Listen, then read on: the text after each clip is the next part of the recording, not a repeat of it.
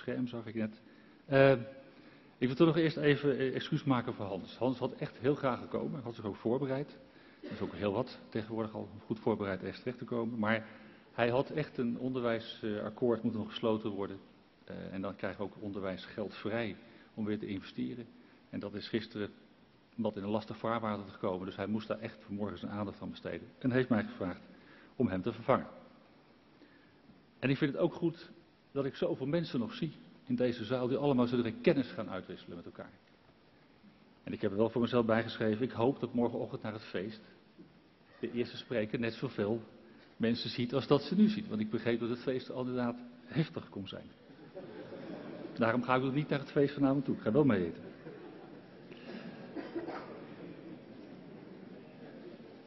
Ik eh, vind het heel fijn om hier iets te kunnen vertellen over een ICT-project wat nou eindelijk eens een succes is. We horen heel veel over ICT-projecten die allemaal mislukken. En dit is een eerst, voor mij in ieder geval, een eerste, eerste ICT-project binnen OCW wat ik echt succesvol zie en in de hele keten ook iedereen dat wil doen. Het is een concreet product wat straks voor jullie ligt. En dat kan veel betekenen voor de bedrijfsvoering. En ik meen het echt, bedrijfsvoering is van levensbelang voor elke goede organisatie. Als je dat niet op orde hebt, dan gaat van alles fout. En dat is niet goed. En het is ook niet alleen een verhaal van Duo en OCW. Het is een verhaal van de hele keten. Het is Studielink, het is Duo, het zijn de CIS-leveranciers en het zijn ook jullie met name hoger onderwijsinstellingen. Ik ga u meenemen een beetje in het proces van bron want Wim heeft misschien aan de basis gestaan. Ik kan me nog herinneren dat het ooit eens BAS heette. Basisadministratiesystemen. Jij weet het nog wel. En daarna heette het Virtual Clearing House. En toen werd het ineens Studielink. En daar hebben we door Bron ook mee gekregen. Dat is inderdaad een jaar of veertien geleden. Zo ga ik ook al mee. Uh, het is toen inderdaad gestart vooral om het onderwijsnummer, wat toen in moest worden gevoerd, om dat vooral zonder administratieve lasten ook het hoger onderwijs te kunnen gaan invoeren. En dat we ook een up-to-date systeem zouden hebben, waarmee de instellingen hun gegevens aan DUO konden leveren. Want toen was eigenlijk Studielink nog niet echt in, in, in, in beeld. Het bron gaat dus het CRIHO vervangen. En ik, weet niet, ik denk niet dat iemand in de zaal is die CRIHO heeft, zien ontstaan. Dat is 25 jaar geleden. Misschien hak, maar dat zou kunnen.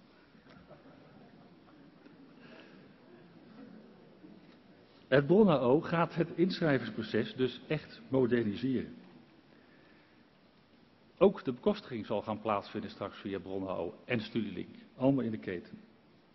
En er zal een aantal aanvullende diensten van het inschrijvingsproces de student ondersteunen, zoals zo direct het leveren gelijk van GBA-gegevens. En dus niet meer s morgens tussen 8 en 12 of tussen 8 en 5, maar dat is gewoon 24 uur per dag. Het leveren van vooropleidingsgegevens, indicatie collegegeld. En zult u bedenken, god, dat is toch geen oud nieuws, dat doen we toch al in, in CRIHO deden we toch ook. Voor een deel klopt dat, voor een deel klopt dat. Maar dat was wel op een hele ouderwetse manier badges die dan s'nachts een keer draaiden of één keer in de zoveel tijd een keer draaiden. En dan kon je een keer wat terugkrijgen van deur over de informatie die je had. Straks gaat het in Bron AO online real-time. 24 uur per dag kan je de informatie met elkaar uitwisselen en ook weer terugkrijgen. Dat geeft minder handelingen voor de instellingen. Het geeft ook minder kans op fouten.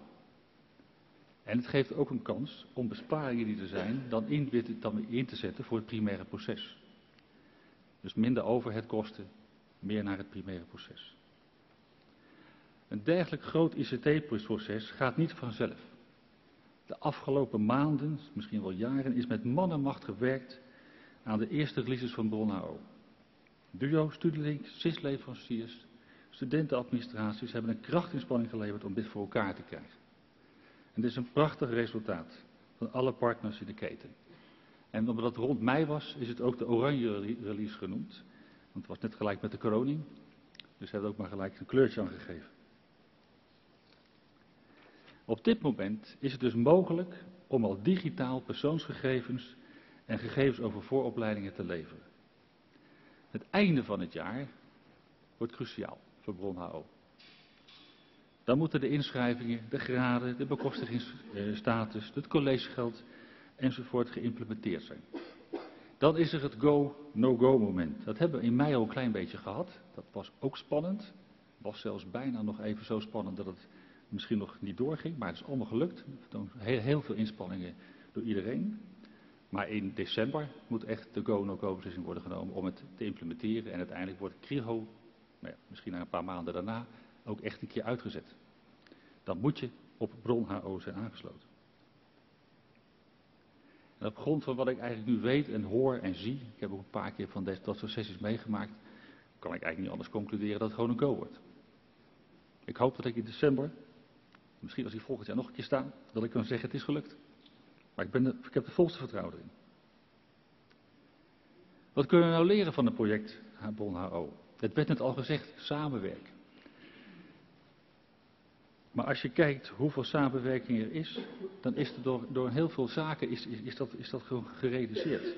Ten eerste, iedereen in de keten heeft elkaar kunnen vinden. Men wilde er gewoon een succes van maken. Zowel bij de instellingen, zowel bij Duo en bij Studielink en bij de zes leveranciers die ook op een aantal plaatsen hun nek hebben uitgestoken om daarin mee te doen. Allemaal hebben ze gezegd, wij gaan hier een succes van maken. En dus een beetje de samenwerking waar een beetje de rode draad het verbinden. Geen concurrentie, nee gewoon met z'n allen zo'n proces gaan doen, omdat het goed is voor de instellingen en het ook goed is voor de studenten. Als je dan kijkt wat voor methodes er werden gebruikt, dan was ik, ik, ik vond altijd een rare, rare methode, de Scrum-methode.